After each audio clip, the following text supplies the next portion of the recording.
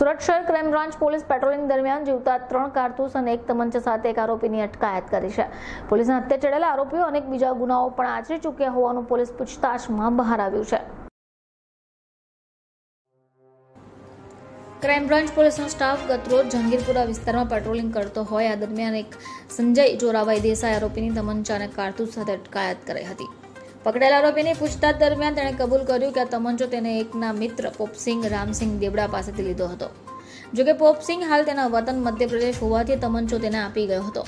આ માહિતી Sanjay crime branch પોલીસને આપી હતી. આરોપી સંજય અગાઉ અનેક પોલીસ હદ મથકના અલગ અલગ ગુનાઓમાં આચરાઈ ચૂક્યો છે. આ ઉપરાંત સુરતની બહાર વાપી ટાઉનમાં પણ તે ગુનો કરી ચૂક્યો છે. Bureau report, channel eyewitness, Surat.